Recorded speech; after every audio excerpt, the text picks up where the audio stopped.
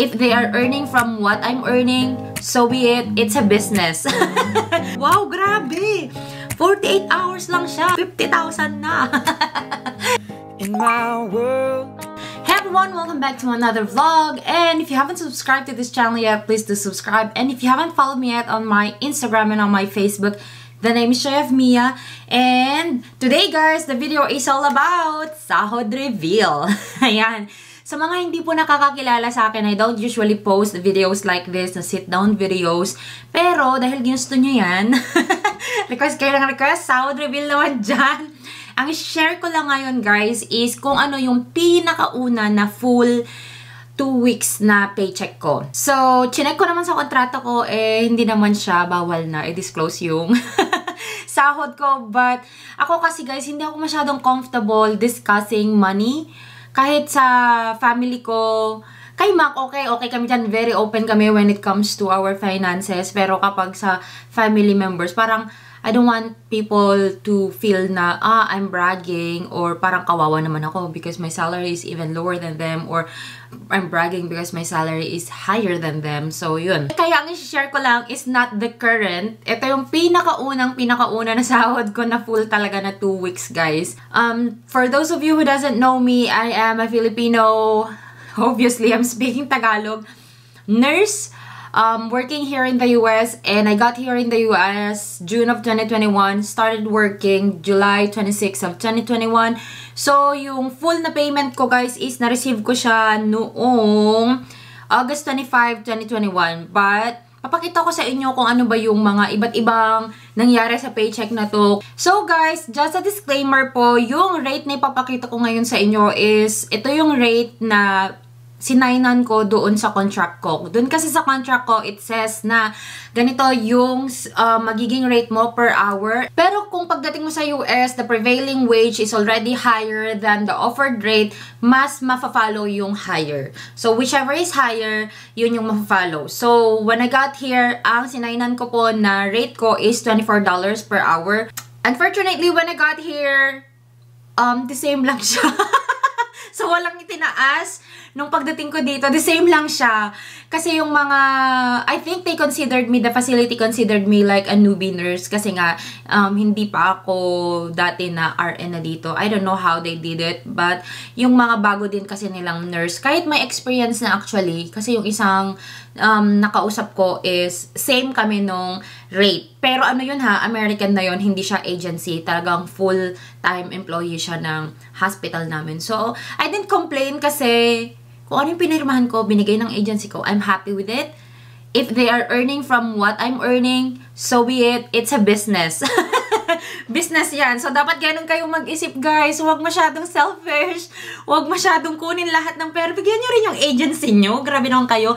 Basta ba makatarungan at nasa pinirmahan ninyo. So, simulan na natin guys yung pag-review ng aking paycheck. So, as you can see here on the right side part of my paycheck, this is ADP. Ito po yung ginagamit namin na app para sa aming mga payroll. So, makikita dito yung mga benefits, yung mga taxes, and all of that. Pero itong makikita nyo ngayon guys, is this is like the paper bill. Like for example, nagpadala ang agency ng cash. Uh, kasama ng ng paycheck, ganun. Parang ganito siya, guys, yung na nakukuha natin noon sa Pilipinas sa mga nagpe-paper paycheck pa. Ito yung paycheck ko. So, yung beginning period nito is August 1 to um, August 14. Kasi nga, di ba sabi ko, kahit nag-start ako ng July 26, um, hindi full yung nakuha ko na sahod ko kasi hindi siya full 2 weeks. So, parang July 26 up to August 3, uh, up to July 31 or 30 ba? Araw ba ang, ang July? Ayun. Yun lang. So, ito yung sinushow ko sa inyo para makita nyo yung 2 weeks talaga na earning ko. Ayan. So, as you can see here, meron akong dito filing status. This is still single or married filing separately. And nung panahon kasi na to guys is wala pa dito sa US si Mac. And up until now, we're still doing this kasi ang sabi ko sa kanya, yung rate kasi niya um, working as a CNA is mas mababa kaysa sa akin. And I have um, YouTube earnings, merong brand deals. So, yun kasi guys, mag sasama-sama kasi siya lahat. So, sabi ko sa kanya, kapag magpa-filing jointly kami, baka kasi tumaas yung bracket niya. Kawawa naman siya. Parang pati siya, masasali siya sa bracket ko na mas mataas. Mas malaki yung babayaran namin na tax. So, yun. Um, ano muna ako, uh, filing separately muna ako, pero baka this year, tingnan namin kung paano yung filing ngayon na ganito yung earnings ko, um, eh, nagganon din yung earning niya, kung okay lang ba kahit mag-join na kami. So again guys, I have here my regular rate, which is $24. Ito po siya. Kung makikita nyo, ito yung sinabi ko na $24 sa pinirmahan ko nung nasa Pilipinas pa ako. And the work hours that uh, I worked for is 48.50. So, this is the day shift, guys. Kasi nung orientation ko is day shift muna ako. Tsaka ako nag-transition into night shift. So, yung aking kinita for the day shift na 48 hours is already $1,164 or parang 50,000 siya in the Philippine peso. So, ayan, kung magko-compute kayo na Huwag muna kayong mag-convert, convert. diba? Parang ang saya. Wow, grabe. 48 hours lang siya. 50,000 na. Yun yung kinita niya. Pero, wow. Ayan. So, punta naman tayo dito sa um, night shift ko, guys. So, ang regular ko for the night shift from 7 p.m. to um, 7 a.m. is 25.5 ang rate ko. And nakadalawang shift din ako. Itong night shift ko is 25, 25 hours. So, ang kinita ko dyan is 637.50. Itong part na to guys, ito, Huwag nyo na masyadong pansinin pababa ito guys. Huwag nyo na tong masyadong pansinin later. Kasi ito lang naman yung total na kinita ko na for the year for that year. So, for example, mula nung dumating ako ng June 1 up until this pay period, ito na yung nakuha ko or kinita ko. So, parang nakakuha na ako ng 4,000 from my agency para sa mga lahat ng trainings and all of that. During this time, nakakasimula ko palang mag-work. Ayan, so yung gross pay ko is 1,801.50. Ayan po yung kinita po ng madam po ninyo. Ito yung total hours work ko is 73. 50 hours. Ayan. And ang na-earn ko naman, so, ano magtataka kayo, ano ba tong PTO balance? Ang PTO po is paid time off. Unlike in the Philippines, we are already entitled ka. Kasi mula parang palang ng taon, entitled ka na sa 10 days vacation, 10 days sick leave, parang ganun ata. Dito sa US, guys, you need to earn um, for it. So, depende sa agency, depende sa hospital policy kung magkano yung i-earn mo. Hindi siya pare-parehas. So, para sa amin, guys, um, parang ang na-earn ko na hours every paycheck is parang 4 to 5 hours. Parang ganon. So, yung yung 72 hours na i-work ko in 2 weeks, may ma-earn ako na 4 hours na pwede ko siyang gamitin. Yung paid time off, kunyari, nagkasakit ako, hindi ako makakapasok, eh, alam ko na kukulangin ako ng pera na pambayad ng bill. Sasabihin ko, I'll file it as paid time off para may sahod pa rin ako kahit hindi ako pumasok na nagkasakit ako. Kunyari, um, magbe-vacation kayo, file it as paid time off para kahit hindi kayo nagtatrabaho, nakabakasyon kayo, bayad kayo every hour. So, kung magkano yung i-file mong araw, kung ilan yung i-file mong araw, ganun din yung makukuha mo na regular rate nga lang siya. Hindi siya, kunyari, night shift ako, so dapat 25.5. Hindi, parang regular rate lang siya, parang day shift rate lang siya. Sana na-explain ko siya na naintindihan nyo. Pero let me know guys kung medyo magulo ba ako para ma-explain ko siya further. So, punta naman tayo dito sa baba sa mga natakpan na ite. Ayan. So, ito na po yung mga deductions. happy? Happy. Ang happy mo kasi 1,800, almost 100,000 na yung kinita mo. Parang kung 1,800, 1.50, parang ang kinita mo na dyan is, kung 50 pesos yung conversion is, ano, parang um, 90,000 na siya in 2 weeks. So, yung 1 month mo, parang 180,000. Yun yung gross pay mo. So, tingnan natin dito guys, yung mga deductions po natin. So, meron tayong deduction for the federal income tax, which is 137.49. This is like 5.6% percent ng kinita mo. Okay? So, bayan ang pangat ng video na to. But anyway, para lang mas maintindihan nyo, para na ako nagdi-discuss dito. Ayan. Um, so, yan yung ano niya. So, kung kayo ngayon, alam nyo na kung magkano yung rate nyo, Kung $30 ang rate ninyo times 72 hours minus 7.6% for the federal income tax. And for the social security tax, ang deduction ko is 108.27 which is 6% ng gross income ko. Medicare tax is 25.32 or um 1.4 Ayan. Yan po yung mga deduction na wala talaga po tayong kawala. Um, basta nandito ka sa US, babayaran mo talaga yan. Pero, ang kagandahan naman yan, kunyari nag-retire kayo dito, wala na kayong ari-arian. Yang Medicare tax, yan yung um, nagbabayad sa mga hospital bills ng mga pasyente na ang kagaling din nila dito guys, pinasa na nila lahat ng ari mayayaman sila pero pinasa na nila sa mga kids nila yung mga ari-arian nila nung buhay pa sila. So parang ngayon, ang nagbabayad ng kanilang mga hospital bills, gobyerno. Nasa nursing home sila, gobyerno, ganyan. Dahil doon na pupunta yung Medicare tax na binabayaran natin. Yung Social Security tax din, ito yung napupunta sa mga pension. Sila lolo't lola ko, meron silang mga pension na tinatanggap ngayon dahil nag-work sila for 15 years dito sa US. So, doon napupunta naman yung Social Security tax. So, pagdating ng araw, pag nag-retire tayo is, yun yung pension na monthly na makukuha natin. Yung federal income tax, hindi ko alam saan napupunta yan. So, dito naman tayo sa others. Ayan. Ano ba tong others na ito? Meron na, kung makikita nyo, loan. Ito kasi guys, ang agency po namin during that time is may offer sila na loan na $1,500. So, para sa amin noon, na mga konti lang yung mga pocket money, nag-oo kami dyan kasi ang offer nila is wala siyang interest. So, babayaran lang namin siya in a year. So, every paycheck, nababawasan kami ng $57.69 hanggang sa mabayaran namin yung 1,500. So, um, last year, nag-stop na ako dun. Kasi one year lang naman siya na binayaran. So, okay na rin. Parang hindi mo nararamdaman na nagbabayad ka ng 57.69. Tapos wala pa siyang interest. So, kung i-compute mo siya, 57. uh, 57.69 dollars times 26 paycheck in a year, that's already 1,499.94. Lugi pa kayo ng ilang cent sentimo. Ayan.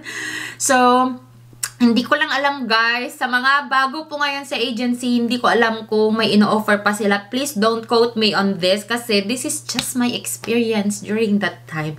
Huwag nyo namang hanapin kung hindi na nila ino-offer ngayon. Ayan. Okay, so for the medical option 3 naman, this is my health insurance that I chose. Um, Iba-iba po kami ng health insurance na pinili. Pero sa akin kasi, um, ano naman, hindi naman ako masyadong masakitin. So, sabi ko, ah, yung pinakamura lang yung yung kukunin ko na option which is $55.18 every paycheck. Pero ito guys kasi, ang kagandahan kasi during that time sa agency, hindi ko alam kung offer na naman nila ngayon ha. Please, don't quote on me. Huwag niyong hanapin yan kapag orientation ha. Mamay pagalitan ako ni madam. kapag ang health insurance mo is yung pinaka-cheap, pinaka, mas mataas din ang deductible nun. Ang ano naman nun, kagandahan naman nun, pwede kang mag-open ng health savings account. Ang health savings account, pwede mo siyang hulugan ng pera instead of you paying it to the paying it to the ano to the health insurance company ihuhulog mo siya dun sa health savings account tapos ang agency namin, nagbibigay sila ng $1,000 in a year na hinuhulog nila sa health savings account namin. So, during that time, hindi ako naguhulog sa health savings account ko, which is one of the regrets na ginawa ko. Um, ang binabayaran ko lang is $55.18. So, ang agency na ang naghuhulog ng parang $33 every paycheck ata, parang ganun. Pero sana talaga naghulog ako nun. Kasi, sa madaming ano yan guys, sa tax. Pwede kang mga lusot-lusot sa tax yan. explain, let me know guys if you want me to discuss a very uh, simpler way about um, health insurance. Ayan. Um, and then guys, this one is the 401k naman po. This is $54.05. My 401k is just the 3% of my gross pay. So, dito nila kukunin lagi sa gross pay yung computation. Um, pwede mo siyang palakihin, pwede mo siyang, hindi ko alam kung ang ilang percent, kasi ngayon ang agency namin is nag nagmamatch na sila. Other agencies or other workplace, they will match your 401k if one year ka nang employed sa kanila. So, for example, 3% ng sahod mo is $54. Kapag minamatch ng agency, magbibigay din sila ng $54. And your 401k guys is uh, pre-tax siya. So, dito siya sa gross pay pa siya kinocompute. Hindi siya after tax. So, pwede, kang, instead na ibayad mo siya sa tax, mapupunta siya sa 401k mo, which is for your retirement. Yan po. Yung 401k is just like our SSS in the Philippines. Ayan. So, ang net pay ko, guys, is 1,363.50. Ayan. So, ito yung kinita ko in one, uh, no, in two weeks. Ito siya guys, two weeks or 73 hours of work or 6 days. Ayan, ayan, 6 days. Ayan po, ayan. Sa mga mahilig po dyan mag-convert, dahil akala nyo, kapag ang in mo dito is dollar, peso mo siya i-spend dito. Ayan po, i-convert po natin. 68,175 pesos. Ayan po, no? Ayan po. Yan yung kikitain mo. Ito na yung net mo ha, after na lahat. Ito na yung talagang pambayad mo ng bills. Ito na yung pambayad mo ng bills. Ito na yung padala. Ito na yung bayad utang. Ayan. Ayan, guys. So, yun po yung unang pinakaunang sahod ko. And then, parang nagkaroon ako ng increase ko after December, nakakuha na ako ng increase ko. Tapos, last year, dahil nag one year na kami ng June, After 6 months na naman, nakakuha na naman ako ng increase ko. And we are still waiting for the increase. Baka. Kasi ang hospital namin, nagbigay sila ng increase. Pero sana, I think even the agency um, gave an increase sa amin ngayon. Pero inaantay ko pa. Kasi hindi pa to yung paycheck. Yung last paycheck namin kasi, affected pa siya ng December. So, mag-start daw siya sa paycheck na January talaga ang start yung winark mo ng January, winark namin ng January onwards, meron daw increase ang ang hospital namin na more than a dollar. hindi lang siya cents ngayon. Pero sana naman. Tapos yung agency, hindi ko alam kung magbibigay din sila ng bago. Pero may na-receive kasi ako na email. So, yun guys, if you're expecting me to show you kung magkano yung kikita, kinikita ko ngayon, no, I'm not gonna do that. hindi po ako ganun ka-comfortable. Kapag napagdaanan na, pagtapos na, pwede na nating pag-usapan. Ayan. So, for the next video, guys, ay mag sasample na lang po tayo ng computation para po sa sahod nyo kung, for example, ganito yung inyong um, sasahurin dito sa US. Ayan, para mas madali na sa inyo, para ma ma-visualize ma nyo kung paano natin siya gagawin. Ayan.